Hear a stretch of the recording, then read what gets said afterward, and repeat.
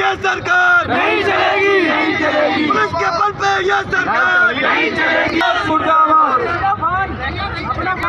प्रदर्शन। बात निकल गया भाई। केंद्र सरकार जनता के विरोधी बिल लेके आ रही है। और आज जिस तरह से महिलाओं के लिए मैं पुलिस वालों से भी कहता हूँ माता जी आप भी बताइए क्या- क्योंकि आज का ये प्रदर्शन आज ये प्रदर्शन, घर के चूल्हे चूल्हे तक का प्रदर्शन है। मेरे साथियों, जिस तरह